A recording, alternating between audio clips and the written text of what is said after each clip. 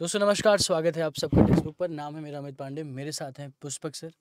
Hello. Yes uh, hello everyone. Uh, and uh, today we are here to discuss about the FCI cutoff. FCI AG3 का mains exam just now finish हुआ तो उसके बाद हम एक बार discuss कर लेंगे इस बार का कट ऑफ़ क्या लग सकता है क्या कट ऑफ़ का सीन रहेगा और आपका जैसा पेपर हुआ उसके हिसाब से आप अपने आप को जज थोड़ा सा कर सकते हैं।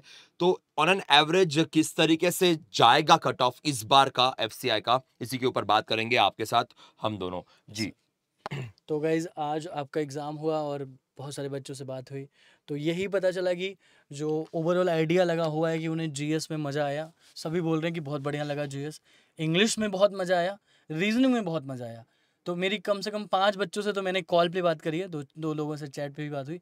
तो उन पाँचों लोगों का सातों लोगों का कहना है कि मैथ्स में थोड़ी हालत टाइट हुई हम्म। क्योंकि कैलकुलेशन ज़्यादा आए हुए थे। कैलकुलेटिव था। वैसे अगर हम्म। देखा जाए questions were very easy not that difficult pattern भी वही था जो सर ने सिखाया था। बस कैलकुलेटिव हम्म। थोड़ा बन जाता है और मैथ्स से सर कैलकुलेटिव नहीं बनेगा तो फिर मज़ा ही तो अलग है? मतलब मैथ्स में कुछ तो गेम होना ही चाहिए बिल्कुल तो, और मेंस एग्ज़ाम है इसलिए थोड़ा इसलिए थोड़ा सा अगर देखा जाए तो जो लोग सोच रहे हैं कि 84 फोर अटेम्प्ट कर लिए 85 अटेम्प्ट कर लिए कि सिलेक्शन होगा नहीं होगा पर मैं आपको पहले ही सेशन के स्टार्टिंग में बोल देता हूँ कि डेफिनेटली सिलेक्शन के चांसेस काफ़ी स्ट्रांग बन जाते हैं।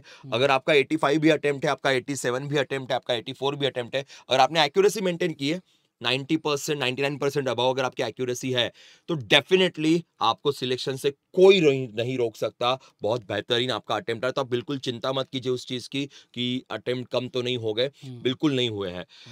पर एफ़ इसके कट ऑफ़ पे थोड़ा डिटेल में बात करने से पहले दोस्तों हमारा फ़िलहाल रंग भरे सपने सेल चल रहा है होली को ध्यान में रखते हो और यहाँ पे आपको बहुत बेहतरीन तरीके से बी का बाइक भी जीतने का मौका मिलेगा जी हाँ you can win this bike bank exam है तो seventy percent plus ten percent का ऑफ़ रहेगा फ्री टेक्स्ट बुक पास भी अवेलेबल रहेगा और ये पूरा सब्सक्रिप्शन ट्वेल्व मंथ्स के लिए आपके पास है। You can use a code आप यहाँ पे इस डिस्काउंट को पाने के लिए और प्लस जीतने के लिए आप कोड यूज़ कर सकते हो। Either you can use Amit P और पुष्पक पी आप दो में से कोई भी कोड यूज़ कर लीजिए, या कोई भी और पसंदीदा फैकल्टी अगर आपकी होगी, आप उनका भी कोड यूज़ कर सकते हो, जो आपके लिए काफ़ी बेहतरीन रहेगा, काफ़ी इंपॉर्टेंट रहेगा। चलो प्लस अगर आपने अभी तक चैनल सब्सक्राइब नहीं किया होगा तो जल्दी से हमारे इस चैनल को सब्सक्राइब कर दीजिएगा ताकि आने वाले समय में आपको सारे सेशंस की जानकारी भी यहाँ पे अवेलेबल रहेगी। अब बात करते हैं F C I G three के पेपर टू की तो यहाँ पे पेपर वन जनरल एंगल में था जनरल हम्म। की बात करेंगे तो जो हमारा कट ऑफ़ का डिस्कशन होगा ये डिस्कशन भी इसी पेपर के अराउंड रहेगा पोस्ट हम्म। स्पेसिफिक और पेपर थ्री के ऊपर हम कट ऑफ़ पे अभी बात नहीं करेंगे उसके ऊपर हम बाद में आपके साथ डिस्कशन करेंगे तो जो कोई भी थोड़ा कंफ्यूज होगा तो उनको मैं बताना चाहता हूँ कि हमारा डिस्कशन इस पेपर वन को लेके होने वाला है जो जनरल जिसको माना गया है उस एंगल में ठीक है चलो आ, ये फ़ेज़ थ्री का वैसे सॉरी फ़ेज़ वन का था। ये पेपर वन जी हाँ, हाँ। ये है पेपर फ़ेज़ टू की बात करते हैं। तो फ़ेज़ टू में English 25 25 reasoning 25 25 number numerical ability 25 general studies यहाँ पे थोड़ा वेटेज ज़्यादा बन जाता है 45 45 तो टोटल 120 का ये पेपर आपका था। सेक्शनल uh, टाइमिंग थे पर कट ऑफ़ उस एंगल में नहीं जाती वो आपके पास ओवरऑल रहेगी 90 हम्म। मिनट्स का यहाँ पे सीन रहेगा ठीक है?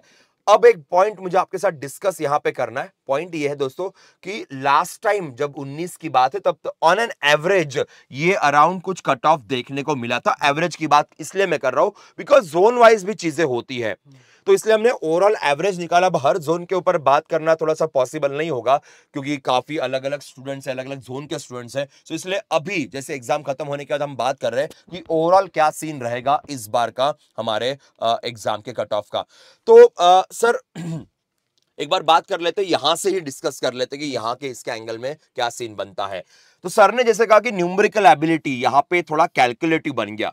इंग्लिश रीजनिंग जनरल स्टडीज़ लोगों के अटेम्प्ट काफ़ी अच्छे मीन इंग्लिश में आउट ऑफ़ 25 लोगों ने 23 टू 25 के बीच में काफ़ी लोगों के अटेम्प्ट है। हम्म। तो काफ़ी इजी पेपर था। रीजनिंग एबिलिटी मैक्सिमम जिनसे मेरी बात हुई उसमें से बस एक बंदा ऐसा था बाकी सबके अटेम्प्ट सर चौबीस से पच्चीस हुए हैं। लिटरली ऑल एवरीथिंग सो यहाँ पे भी 23 टू 25 के आसपास का अटेम्प्ट पकड़ लेते हैं। जनरल स्टडीज़ बहुत इजी था पर फिर भी यहाँ पे थोड़ा हम्म। केयरफुल अटेम्प्ट हो अ, करना पड़ता है हम्म, बिकॉज़ गलत होने के चांसेस थोड़ी गुंजाइश थोड़ी बढ़ जाती है। तो यहाँ पे भी अटेम्प्ट जो है वो नियर अबाउट 30 से लेके हम देखेंगे कि एक 40 तक का है। हम्म, कुछ लोगों की ठीक बारी थी थर्टी टू फोर्टी है। हम्म, कुछ लोगों ने रिस्क ली वो उन्होंने कैलकुलेशन में नहीं डाले या हम्म, उन्होंने बात नहीं की कि सर अगर एक्यूरेट अटेम्प्ट किया जाए तो इसके बीच में अटेम्प्ट है। हम्म। न्यूमेरिकल एबिलिटी के अंदर सर अटेम्प्ट का क्या सीन रहा? सर मतलब अलग अलग कहानी सुनने को मिली यस है मतलब अगर बात हुई तो पहले बच्चा जिससे हमने लाइव कॉल पे बात हाँ। करी एक ने बारह अटेम्प्ट किया हम्म। तो एक ने अट्ठारह अटेम्प्ट किया हम्म। फिर एक दूसरे बच्चे से बात हुई तो उसने पंद्रह अटेम्प्ट किया हम्म। और एक ने इलेवन अटेम्प्ट भी करा है तो जो एक यहाँ पे जो मेरे को लग रहा है सर गुड अटेम्प्ट का जो कैटेगरी है ना सर वो पंद्रह नंबर से जाएगा पंद्रह से बीस नंबर ये गुड अटेम्प्ट जाएगा।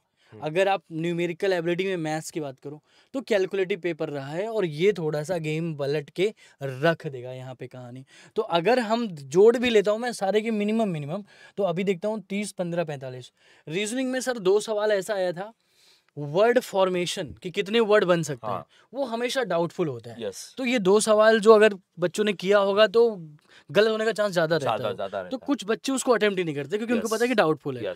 तो यानी ये यहाँ पे बीस नंबर जोड़ते हैं। हाँ। रीजनिंग में और इंग्लिश में भी बीस नंबर के अकॉर्डिंग तो लेके यहाँ पे लिख लेते हैं कि हाँ। क्या नॉर्मली एक्सपेक्टेड क्या अटेम्प्ट होने चाहिए। लेके चलते हैं Yes, 20 20 लेके चलते हैं और यहाँ मैं 15 लेके 15 चलता हूँ। बिल्कुल, मिनिमम की बात हूँ बिल्कुल, यहाँ पे भी सर एक मैं यहाँ पे थोड़ा सा रेंज बनाऊँगा थर्टी फाइव टू 40 का रेंज डाल दीजिए बिकॉज़ दो थर्टी टू थर्टी फाइव डालते हैं सर बस चलेगा ठीक है थोड़ा सेफ़ साइड रहेगा हाँ, तो हाँ, बेटर रहेगा। क्योंकि हाँ, इसमें क्या रिस्क पता नहीं रहता ना रिस्क हाँ थोड़ा ज़्यादा है। हाँ, तो अ, ये ओवरऑल नॉर्मली अगर सेक्शन वाइज देखा जाए तो ये आपका यहाँ पे हम्म, अटेम्प्ट बन जाता है इस तरीके से आपके क्वेश्चंस या फिर आपके मार्क्स बन सकते हैं। हाँ। अगर ऑन एन एवरेज निकाला जाए कि क्या एक्सपेक्टेड कट ऑफ़ जाएगा तो एक्सपेक्ट कट ऑफ़ का हाँ। हम लोग डायरेक्टली नंबर नहीं देंगे बिकॉज़ जोन वाइज जाता है। हम्म, तो वहाँ पे एक प्रॉपर नंबर देना थोड़ी गलत बात हो जाएगी। हम एवरेज या फिर एक रेंज आपके सामने रखते हैं। हम्म। सो रेंज क्या लगता है सर आपको क्या रेंज रहेगा? अब सर ये जैसे ये नंबर है ना तो हाँ। इसमें कुछ गलतियों का भी चांस है। हाँ। मतलब ये मैं नहीं कह रहा कि एकदम पूरा हंड्रेड परसेंट एक्यूरेसी के साथ मारोगे।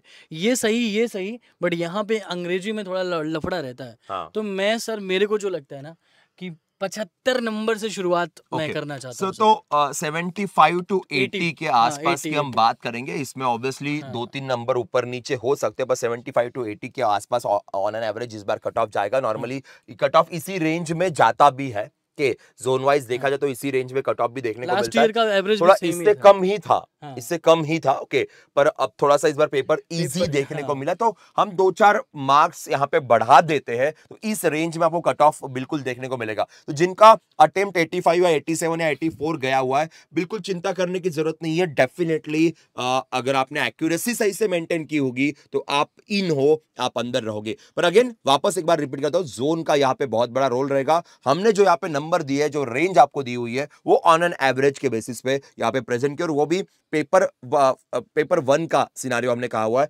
पेपर टू और पेपर थ्री के बारे में हम यहाँ पे डिस्कस फ़िलहाल नहीं नहीं कर रहे हैं। क्योंकि उसका डेटा हमारे पास उतना एक्यूरेट नहीं है। हाँ। और दूसरा अगर आप एग्ज़ाम देकर आए हैं तो अभी देखो हो गया एग्ज़ाम। ये आपकी कट ऑफ़ भी हमने बता दी। यस अभी इसको वीडियो को देख लेना लाइक वाइक कर देना उसके बाद भूल जाना इस बारे में अगले एग्ज़ाम की तैयारी करना। इसका हाँ। रिज़ल्ट आएगा तब देखा जाएगा। यस मतलब ज़्यादा इसमें ऐसा ना कि अगर मान लो आपने लेट से सपोज़ करता हूँ मैं कि आप मैथ्स में बहुत कम अटेम्प्ट कर पाए आप अस्सी अटेम्प्ट ही कर पाए हैं। हम्म। तो ऐसा नहीं कि बहुत परेशान होना नहीं है आगे एग्ज़ाम की तैयारी करनी है।